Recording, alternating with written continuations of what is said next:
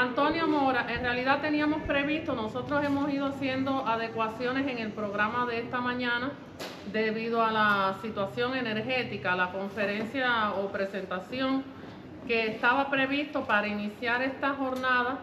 Es una conferencia que impartiera José Julián Padilla hace, por supuesto, nuestra figura, eh, músico, investigador, eh, figura legendaria de los estudios de la canción trovadoresca y otras tantas músicas en el entorno santiaguero, nieto eh, de Pepe Sánchez, y que también fue una persona, yo recuerdo cuando en el 2008 comencé a coordinar estos espacios, eh, José Julián Padilla fue de las personalidades que más apoyo me brindó y siempre me daba su presencia, no solo con el dictar conferencias, sino con el acompañarnos y de manera respetuosa.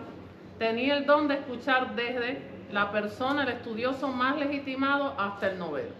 Y entonces es una manera eh, de rendir tributo a esta figura y Antonio Mora eh, ha tenido la certeza de digitalizar esta conferencia que Padilla impartiera hace varios años en España.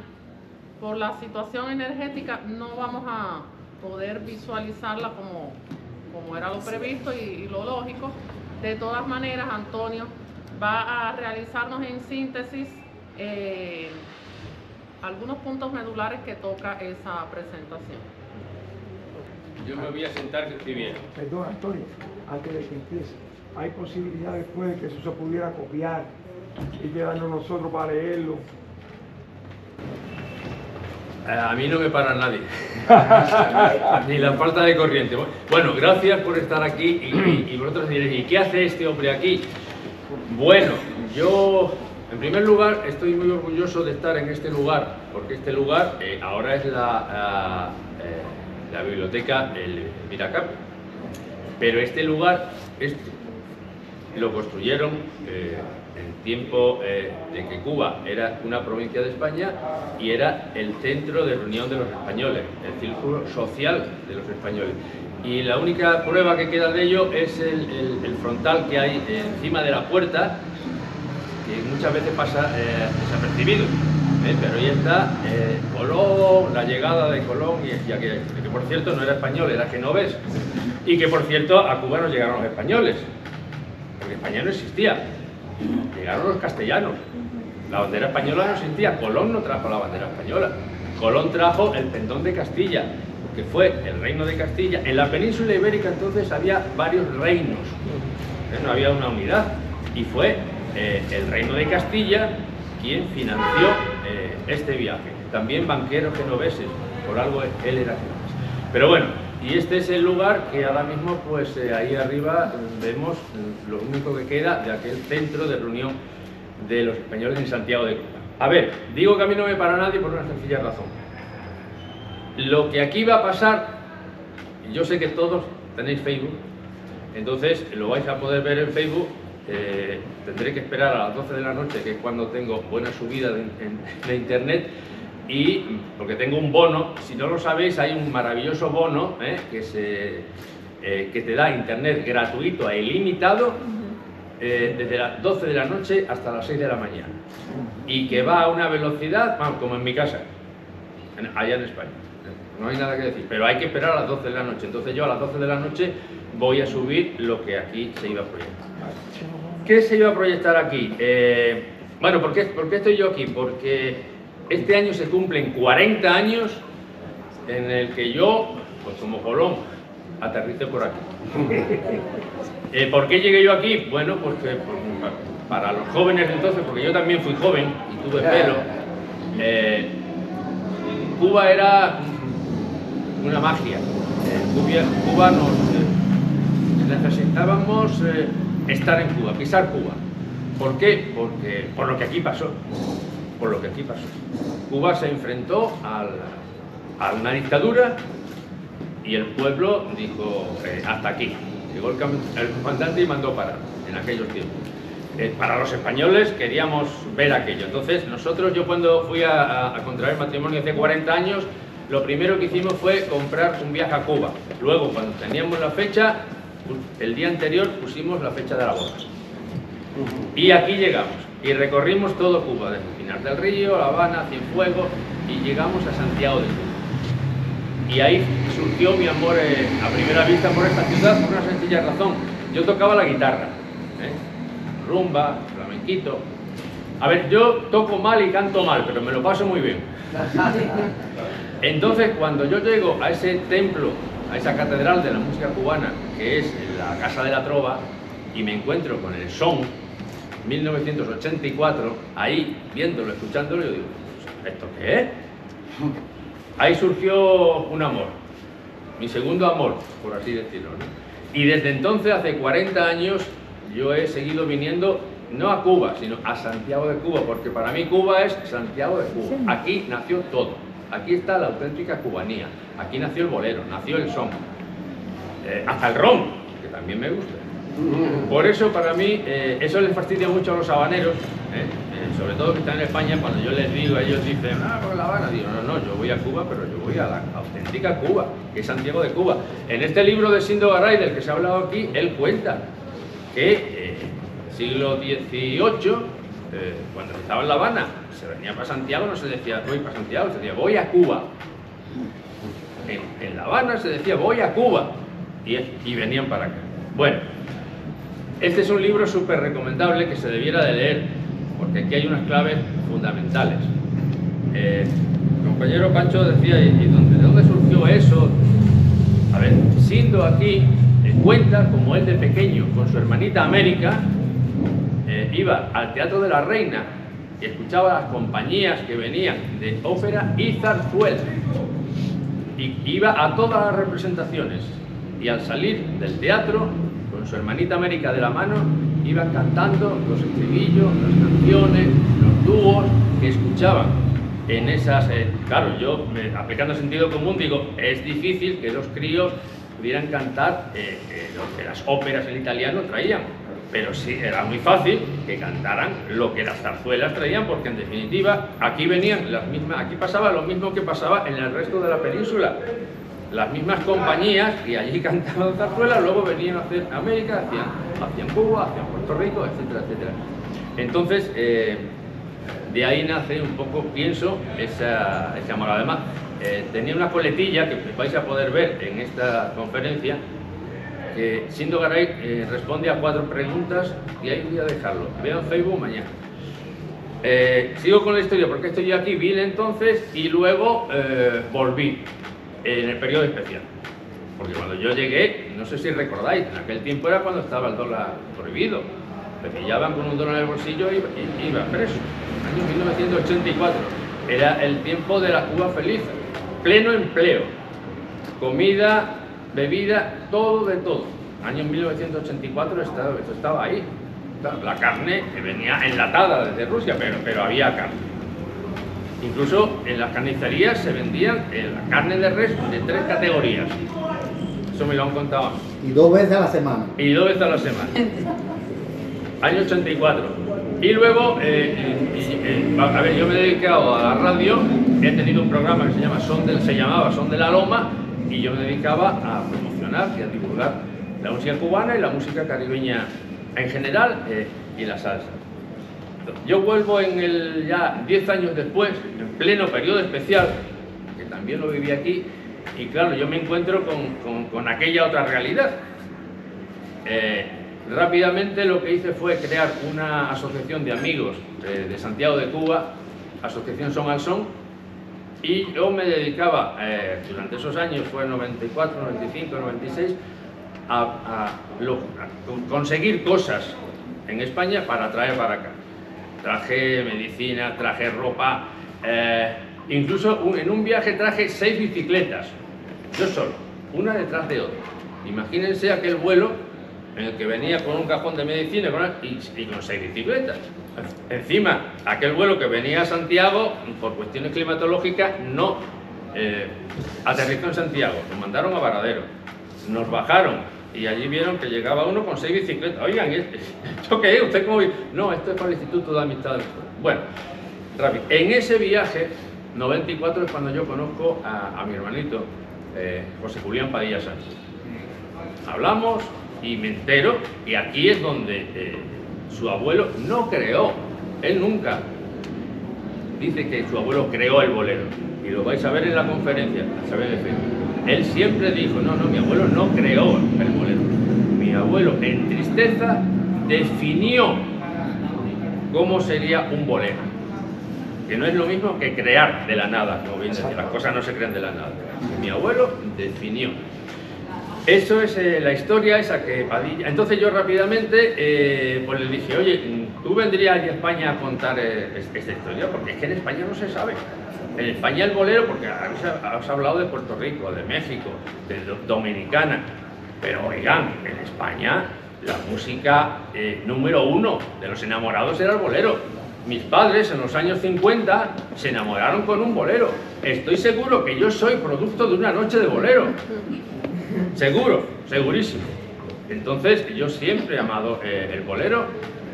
Y entonces cuando, pero, pero en España no se sabía que el bolero nació aquí. Igual en, ninguna parte del mundo casi. ¿Por qué? Porque los santiagueros no hicieron o no han hecho por, por divulgarlo. Hasta ahora que se está moviendo la silla. Eh, sí, sí, yo, yo voy. Digo, bueno, pues mira, yo voy a organizar un festival, año 1996, para el Ayuntamiento de Bilbao. Y, entonces le dije, digo, mira, a mí me gustaría que vinieses con esta historia del nacimiento del bolero y que se llamara la conferencia El bolero eh, nació en Santiago de Cuba y lo creó mi abuelo. No, Antonio, no, que eso es especulante, eso. Digo, mira, de marketing sé yo. Y yo sé que en España ese titular el bolero nació en Santiago de Cuba y lo creó mi abuelo, va a impactar porque no se sabe, siendo un ritmo. Eh, Matamoros estuvo en España, en el año 1930 y tanto, entró por Santander, donde yo vivo ahora, y allí se cantaron los primeros boleros del trío Matamoros. Antes, en el 29, había estado el Septeto Nacional en la posición de, Sevilla, también llevaron el bolero. A lo que voy, eh, Vino el festival, yo entonces para aquel festival yo eh, organicé un hermanamiento entre Santiago de Cuba y Bilbao, un hermanamiento cultural. Y, desde Santiago de Cuba llevamos a un montón de gente, periodistas, eh, que yo recuerde, tenemos presente, presente a una, a Silvia Álvarez, que está ahí, un poquito más joven, era entonces. Eh, vino también Seis Dedos, Emilio Oliveros Dedos, eh, vino Tony Rodríguez, a la, sazón director de Teleturquino, con un cámara y un, y un, redactor. Eh, vino, vino, vino Elías Acosta, a la sazón director del eh, Ateneo Santiago, de Santiago de Cuba. Invitamos también a otros poetas, León Estrada, también a Paulito Hernández, bueno, a la conga de los hoyos, que por mala gestión burocrática en este país, pues los pobrecitos míos de la conga de los hoyos, con el billete en la mano, se quedaron en el aeropuerto de, La Habana. ¿Por qué? Porque no se les gestionó el pasaporte. Yo monté en cólera, lo que tenemos el festival, estábamos esperando a la conga de los hoyos y, la, y la embajada española no le había dado la vista. Entonces llamamos aquí, miren, nosotros tenemos una norma, 15 días antes, 15 días antes hay que meter los papeles. Con lo cual, estos señores que están aquí sin un duro, tirados en el aeropuerto de, La Habana, tal día pueden salir, van a tener su visado. Digo, oye, que, entonces ya se ha acabado el festival. Entonces no, hace falta que... Bueno, yo, lamento mucho aquella historia de la, de la Conga de los Hoyos, porque imaginaros lo que es este grupo de gente, de grandes músicos, que llegan al aeropuerto con el billete en la mano para irse a ir a ese festival a España y que se tuvieron y, iban sin un chavo. No llevaban nada porque sabían que simplemente se iban a montar en avión y que ya en España se les recibía y que entonces allí estuvieron dos o tres o cuatro días perdidos vagando por el aeropuerto pidiendo para comer. Pero bueno eh, afortunadamente Silvia Álvarez que es esa señora que está ahí señorita eh, se movió independientemente de las instituciones. Y fue institución por institución diciendo, compañero, ponme el puño, ponme el puño, ponme el puño. Eh, también eh, lo que consiguieron ir fue porque ella se preocupó de que les pusieran en puño en todos los lados y el tiempo llegó en tiempo a la embajada y, y se consiguió que viniera. Aquello fue un escándalo en España. cuando salió ese titular, todos los medios de comunicación, todas las radios que llevaban años programando boleros, todos los periódicos, las televisiones, se volvieron locos. ¿Cómo que el nieto, que está el nieto del creador de bolero? Bueno, lógicamente a Padilla le abrazaron en entrevista, en prensa, en radio, en televisión. Yo recuerdo que, andando por las calles de Bilbao con, con Padilla, él eh, en la luna miraba hacia el cielo, levantaba los brazos y decía, gracias abuelo, gracias por estar aquí. Tú has hecho que yo esté ahora mismo aquí. Antonio, permiso un. El alcalde de aquí no fue. Bueno, sí, bueno, es otro No, pero que no, no e-, era un emanamiento y los alcaldes nunca se vieron. Sí, sí, las autoridades no fue, pero fue la cultura. Entonces, por lo que fuera, eh, el alcalde estaba invitado y estaba invitado por el alcalde de Bilbao. Pero pues no fueron, las autoridades no fueron y le, dieron la representación a, Tony Rodríguez, director de, de, de Porque entonces existía un canal de televisión aquí que era Teleturquí, ¿nos recordáis aquellos tiempos? Donde se hablaba todo el día de Santiago, de la provincia, del Oriente. Pero bueno, eso también se fue, como se fue luego el, Festival de Boleros de Oros, como se han ido tantas cosas para allá. Eh, simplemente decir, Padilla para mí, eh, fue yo dos años después, esto fue en el 96, dos años después, en el 98, organicé otro evento, se llamó Enclave de Son, en la Universidad Internacional Menéndez Pelayo de Santander, y le volví a llevar, y me dice, ¿qué quiere que hable? Digo, la misma conferencia. La misma conferencia para qué? Porque ya digo, aquello es, fue un conocimiento impresionante. Yo seguí viniendo por, eh, por Santiago, pero eh, aquí a diferencia, vosotros, ustedes, vosotros, pensáis que los españoles o que los plumas y tal, venimos aquí a como. No, no, no, cuesta mucho dinero. Yo no pude venir, volver luego en 20 años, no es nada, como dice la canción. ¿Y por qué volví en 2015? porque me tocó la lotería. Y dije, a Santiago me voy. Lo que pasó en Bilbao y la conferencia de Padilla, como digo, la vamos a poder, la voy a poder subir hoy eh, a Facebook.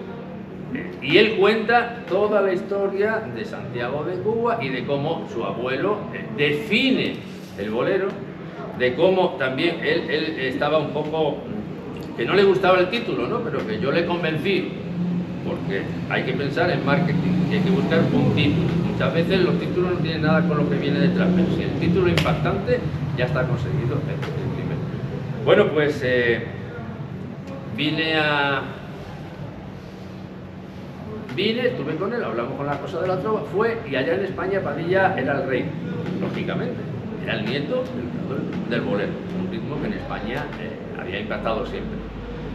Lo vamos a poder eh, ver esta noche, mañana ya, me imagino, porque eso tarda, tarda en subir. Y luego hay una coletilla que meto también y que se iba a proyectar de Sindo Galay dando respuesta a, la televisión cubana de, en cuatro preguntas. Una pregunta es, eh, eso sí os lo adelanto, eh, le preguntan, Sindo, ¿en qué se basa, en qué se basa sus creaciones? ¿En qué se basa su música? Y responde Sindo, en la música española, la música española, la nuestra, la que nos trajeron cuando nos conquistaron, en eso se basa. Punto número uno. Punto número dos. Sindo, ¿la música africana influyó en sus composiciones? No. Punto tercero. Eh, Sindo, eh, ¿qué opina de la nueva canción cubana? Año, era año 1960 no había surgido el término nueva trova. Pero bueno, se estaban haciendo cosas nuevas. Y Sindo dice, y lo vais a poder ver, porque no son palabras mías, son de Sindo, eh, parece que quieren acabar con nuestra música tradicional cubana de siempre, los nuevos. No hay dúo, es uno, ayer, una guitarra. No hay dúo. La música es una música como, como, clásica, como clásica, como muy complicada, como y, y no hay versitos. Ahora las canciones son cartas de amor muy largas, largas, largas, largas, interminables. Esa es una respuesta que Sindo Garay da. Ah, y la tercera, Sin, le, preguntan, Sindo, ¿qué un trovador? Y, Sindo responde, un trovador es un hombre que le gusta traguito, la mujer, la serenata, y vive la vida en la calle. Es la definición que Sindo da y que podréis escuchar. Y eso es un trovado. Entonces, volviendo a José Jolín Padilla Sánchez, un hermano, y me alegro mucho además que haya pasado esto, porque ya me pasó una vez, hace pocos años, cuando precisamente iba a presentar eh, un documental sobre Alejandro Almenares, eh, en el Festival de la Trova, pues tampoco pude hacerlo. ¿Por qué? Porque llegó la COVID y nos mandaron para allá. Eso me dio opción al año siguiente presentarlo. Entonces no hay ningún problema con no haber podido presentar esto porque además yo con mi hermano Padilla, eh, yo quiero hacer un documental sobre él porque tengo muchísima información, no solo esta conferencia, mucho más, mucho más, eh, con su familia, eh, le he entrevistado a su familia, entrevisté a un amigo íntimo que era Rebé, que por, por desgracia murió, no el Rebé que ha muerto ahora, sino eh. Y todo ese material eh, para el año que viene posiblemente ya lo tenga hecho. Como la conferencia, como la conferencia que él dio se va a poder ver en Facebook y ahí, y ahí ya va a estar. Y no solamente se va a poder ver entre los que estamos aquí de Santiago de Cuba, sino se va a poder ver en todo el mundo. Para eso están las redes sociales. No hay ningún problema. Y el año que viene yo espero que Jorisel me, me invite a otra, a otra, a otra conferencia sobre eh, José Julián Padilla Sánchez con mucho más documental, documental entonces yo no voy a robar más tiempo. Bueno, solamente eh, deciros, eh, este, este, este, evento eh, lleva por nombre Lino Betancourt. A mí me, me, mató que él se muriera antes de tiempo. Antes de tiempo porque no me dio tiempo a hacerle una larguísima entrevista. Pero bueno, dejó libros como este, La Trova en Santiago de Cuba, apuntes históricos, donde se narran dónde tuvieron las casas de la trova de Santiago de Cuba, porque el, invento de la Casa de la Trova, maravilloso, es un invento muy posterior. En Santiago había varias casas de la trova, donde se reunían los trovadores, que eran en las casas de los trovadores, eh, y en, casas de señoritos, de gente de dinero, que los domingos a la mañana fundamentalmente le llevaban para que hicieran sus, sus.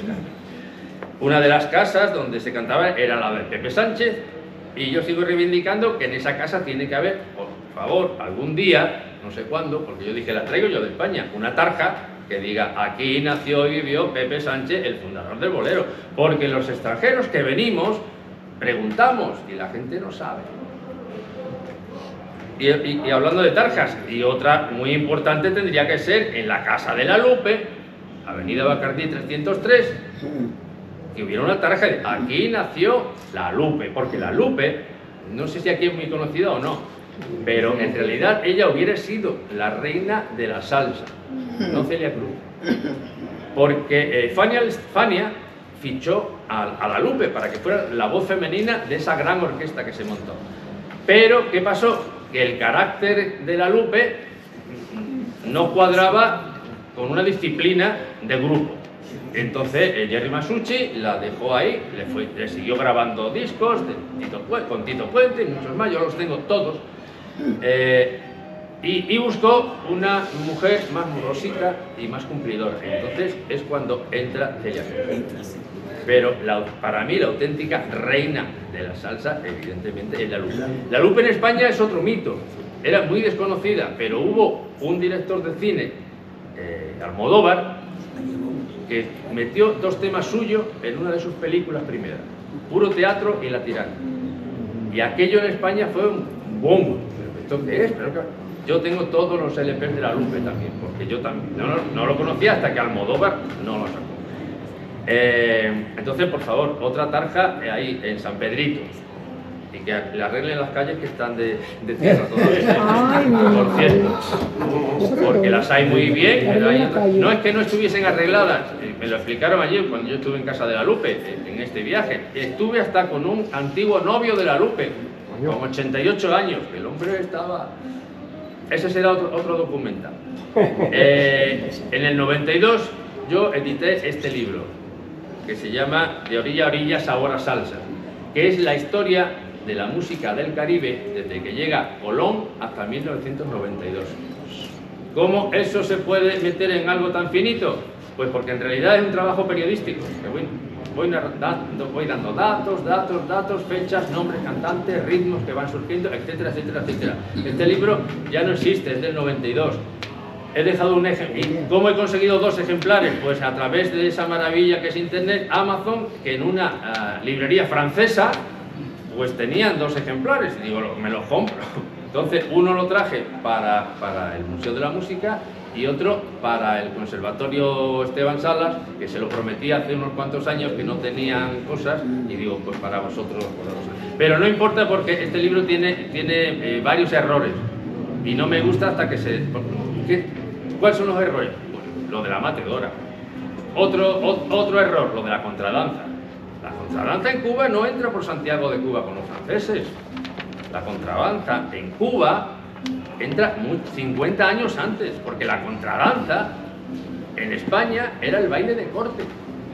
Y si nos ponemos en el momento, Cuba era una provincia española, con diputados en las cortes de Madrid.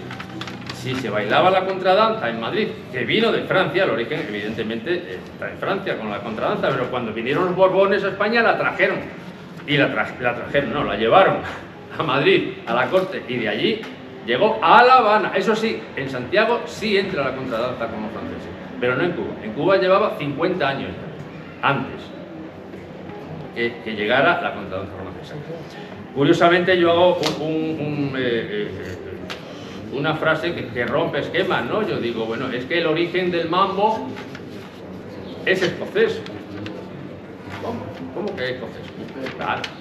A ver, es que si nos vamos, eh, seguimos el, hilo histórico musical, el country dance de Escocia es el que, el que unos maestros de country dance llevan a la corte de los Borbones de Francia. Y allí se genera la contradanza. Y cuando los Borbones de Francia llegan a, a ser reyes de España, llevan esa contradanza francesa que en Madrid se hace contradanza española. Y, la contradanza da la historia, esa ya la sabéis, el danzón, el danzonete, luego surge el cha surge el mambo, entonces en el principio de los tiempos de, esa línea musical está en el country dance, no sé si, es el tema exacto. Y nada más, yo no quiero robar más tiempo porque me estoy tomando este tiempo porque la conferencia duraba una hora. ¿eh? Entonces, bueno. Eh, nada más que, eh, lo dicho, la, eh, conferencia de, Padilla, donde narra la historia. Ah, ¿sabéis cómo se rescató? ¿Sabéis por qué hoy en día la música de Pepe Sánchez se conoce? Padilla, el papá de Padilla,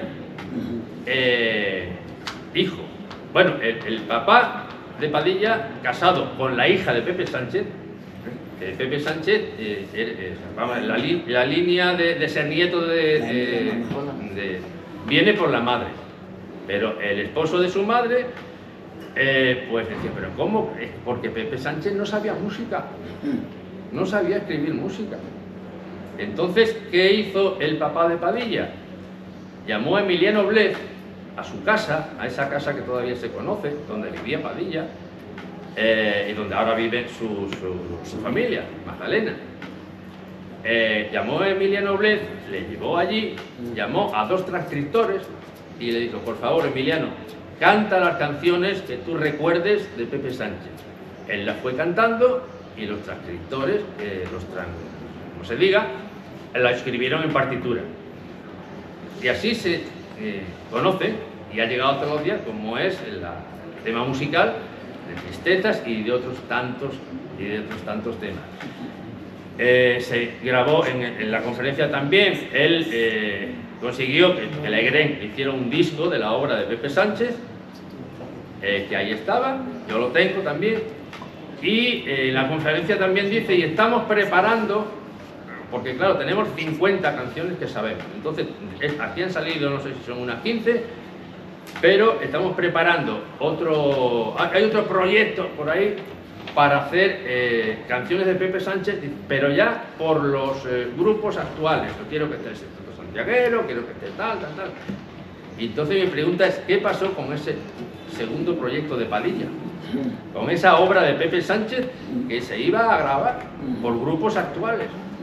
No sé si se grabó o si no, desde luego a mí, a mí no ha llegado. A mí me gustaría pues, que ese, ese segundo proyecto, que era eh, las obras de Pepe Sánchez, que están ahí, porque se ocupó Padilla de que estuvieran pues, transcritas, pues la EGREN pues, tuviese la, la delicadeza, bueno, la EGREN o quien sea, la delicadeza de publicarlo, porque eso sí es patrimonio, eso sí es patrimonio. Y por desgracia, pues parece que está durmiendo el sueño de los, de los. En cuanto a mi libro, eh, ya digo, no merece la pena. Hay varios errores que no son míos, son de muchos eh, musicólogos e historiadores que nos hemos basado en el libro de la música que escribió Alejo Carpentier, donde demostró que Alejo Carpentier era un excelente novelista, pero un pésimo historiador musical, porque se tragó, se tragó lo de la matedora, se tragó lo de la contradanza, se tragó otras cosas. Claro, los, los que hemos venido después, pues hemos ido poniendo lo mismo, pero bueno, ya María Teresa Linares, por ejemplo, que también, por desgracia, la gran musicóloga de, La Habana, ella fue la, la que sacó a la luz de la, la- la verdad sobre la, llegada de la contradanza a Cuba, que no había sido por los franceses, mucho antes en España, en, perdonad, en, en La Habana. Lo de la mateadora, ¿qué vamos a decir? Todavía los dominicanos siguen reivindicando eh, lo del son de la mateadora, pero, pero no el otro día, Ella lo no. reivindican como un jaleo. Y es que el jaleo era eh, uno de los ritmos eh, que, se, que se interpretaban en España. Entonces, posiblemente, Mateadora, las hermanas Ginés, hicieran ese jaleo, ni, ni se llamaba son ni nada. Y me voy dejándoles una pregunta y una reflexión. Eh, ¿Quién le puso nombre a, ese ul- a esa última derivación del son que es la salsa? La industria. La industria anglosajona. Porque había que llamarlo de alguna forma. Pero mi pregunta es, ¿quién le puso el nombre al son? No, no cuál fue el primer son. ¿Quién dijo, esta música se llama son? La respuesta es igual, las discográficas. Porque las primeras grabaciones que existen, mm, después del título de la obra, no, pones, no ponen son, ponen sones orientales, sones habaneros, sones en el sentido de canciones que se cantan en, Santiago, canciones que se cantan, no tenía el nombre del son. Al final en los discos, pues poner sones eh, eh, eh, habaneros, sones santiagueros, era muy largo y dijeron son, son, pues son, son. Entonces también fueron las discográficas las que le pusieron el nombre al son. En última instancia, perdón, hay sones alicienses, sones huastecos, que no tienen nada que ver Que no con nada que ver. ¿Quién le puso son a aquello? Claro, no, es que son, se, Son se ponía y se utilizaba, son se utilizaba no como, como un género, son, eh, como un son, Son- hecha un son, vamos a hacer un son, un son es un- Vale. una sonoridad, es una canción, no era ni un género. La palabra ingle- inglesa también influyó. Y ahora si ya termino me voy con una también otra pequeña reflexión. Aquí oigo, oigo, oigo y, una vez y otra vez y, otra vez. La trova solo es una, la trova solo es una, la trova solo es una. No sé si ustedes estuvieron ayer en, en la inauguración y escucharon lo que hace el tío Palabras. O han escuchado lo que hacían las hermanas Ferrín, las hermanas Faez, las hermanas Martín. ¿Eh? Si han escuchado eso, yo creo que hay una pequeña diferencia con lo que luego hacen los cantautores, que no digo que, no, no, no, pero es que los cantautores son cantautores. Y cuando Silvio y Pablo llegaron a España no se les presentó como trovadores, sino como cantautores, y cantaban con Serrat, con Sabina y con todos estos. Eso sí, era el movimiento de la nueva trova. Y es curioso porque en España no se tenía ni idea de por qué esto se llamaba nueva trova, lo de Silvio y lo de Pablo. Y lo que pensábamos, que, bueno, si se llama nueva, que algo tendría que haber antes. Pero claro, lo que yo luego descubrí con el Ferrín, con la paz, etcétera, no tenía nada que ver con la nueva.